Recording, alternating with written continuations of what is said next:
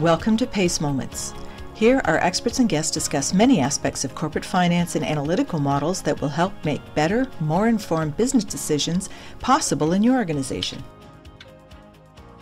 I'm Doug Hicks, one of the directors of PACE. In this edition of PACE Moments, I'm going to talk about the problem of teaching to the test. In the teaching profession, there is an ongoing debate over the value of standardized testing. Testing designed to measure the performance of both the student and the educator. One of the most powerful arguments against standardized testing, or at least standardized testing in its current form, does not relate to the testing itself, but to one of its unintended consequences. That unintended consequence is teaching to the test instead of teaching a core curriculum and critical thinking skills. Teaching to the test means that the test becomes an end in itself. It means teachers focus on the content that will likely be on the test and use the format of the test as a basis for teaching. Since this kind of teaching leads primarily to improved test taking skills, increases in test scores do not necessarily mean improvement in real academic performance.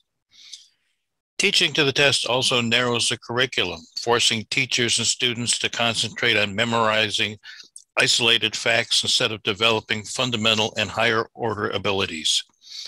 What difference does it all make? Answer the simple question. When you have a serious illness, would you rather have a doctor with an in depth understanding of his or her medical specialty, or one who was good at memorizing isolated facts and taking tests? In the same way teachers are pressured to teach to the test, managers of businesses are pressured to manage to the test, the test being the upcoming period's GAAP based financial results. Managing to the test means that the company's GAAP based financial results become an end in itself. It means managers focus on the issues that will likely impact the upcoming test and use the format of the test as a basis for measuring performance.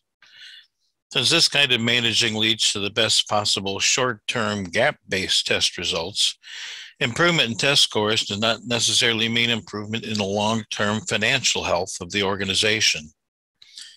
Managing to the test narrows managers' focus, forcing them to manipulate near term events instead of taking actions that will add maximum value to the organization over time.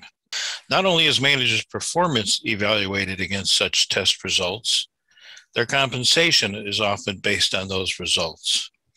As a consequence, how can you blame decision makers for making decisions that result in good near term test scores, but lessen the organization's ability to succeed or even survive in the future?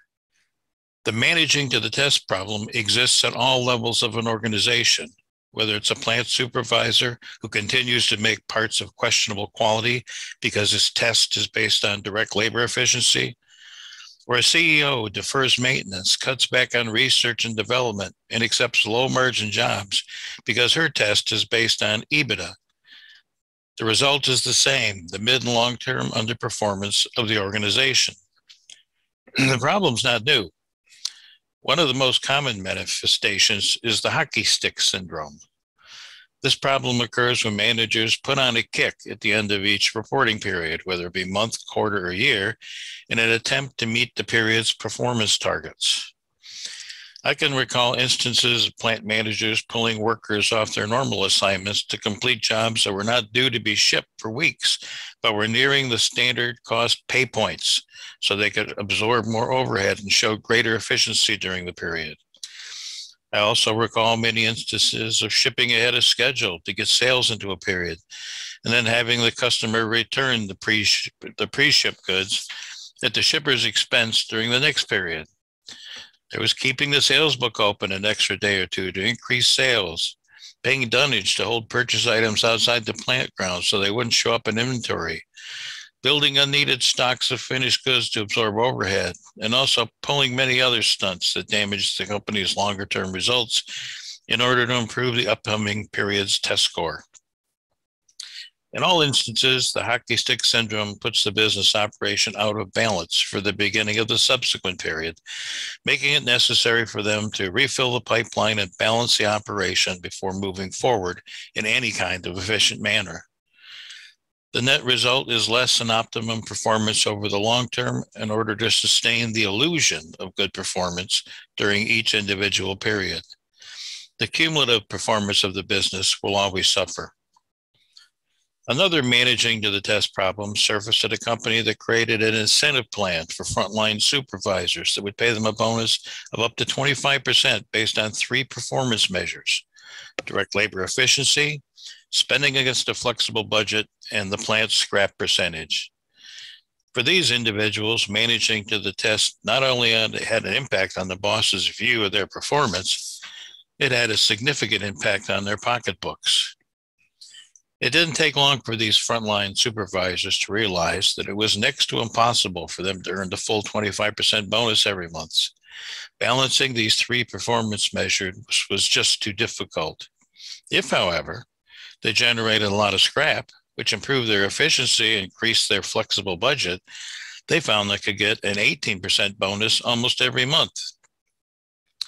To solve their scrap problems, they would have to reduce their direct labor efficiency and the level of their flexible budget, which was based on the hours earned. So they figured they would sacrifice the company's overall performance to optimize their personal bonuses. Well, this problem exists among the organization's C level executives. It usually permeates throughout the entire organization. At many of today's companies owned by private equity firms, EBITDA is a primary measurement by which the company's C level executives are judged. This measure leads to a myriad of high level decisions that threaten the organization's long term viability. It leads to deterioration in the company's capital base, failure to develop new products, services, or processes, deferral of critical maintenance, acceptance of marginal orders, and adoption of questionable accounting practices. The lower level managers working in the organization are then measured on how well they help damage the company's long term success and do everything they can to score high on the upcoming test. Generally accepted accounting principles are designed to record activities and events that take place between two balance sheet dates, not to reveal how the organization actually performed. Consider a company that requires an annual expenditure of 5 million on R&D if it is to develop new products that will enable it to maintain its existing volume of business. Under pressure to pass this financial test one year, decides to cut research and development to $4 million. This move increased its earnings by $1 million and enables it to pass the test. But did GAAP actually reveal how well the company performed? Does it show that the company put its future in jeopardy?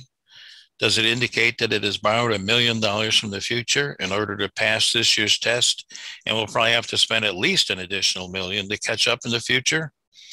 Has management actually done something to make the company a more viable business in the future?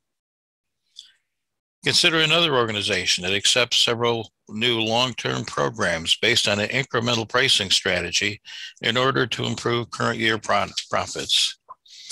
The revenues from these programs will cover all of the variable costs required to produce the program's products and contribute toward, but not fully cover, the fixed costs of resources used in producing the products.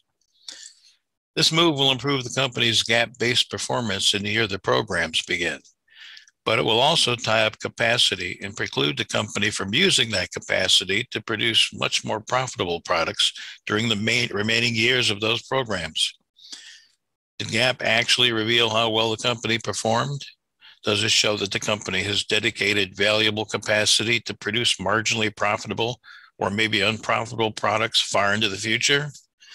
Does it highlight how valuable capacity was borrowed from the future in order to pass this year's test? Has management actually done something to make the company a more viable business in the future? There's a myriad of actions management can take in a given year to help the company's current GAAP based results pass the upcoming test. In most instances, those actions only make it more difficult for the company to perform well in the future, a future that will continue to be driven by the desire to pass upcoming tests, not the desire to lead the company into a successful future. Managing to the test turns decision makers into game players instead of stewards that work for the long term success of the organization. The profitable, profitability analytics framework provides decision makers with a comprehensive guide for developing the type of quality decision support to information they need to guide their organizations toward a sustainable, financially successful future. Thanks, and I hope to speak to you again soon. Thank you for listening to our PACE Moments podcast. To learn more about profitability analytics, check out the PACE website, join one of PACE's interest groups, and follow PACE on LinkedIn and Twitter. Thank you.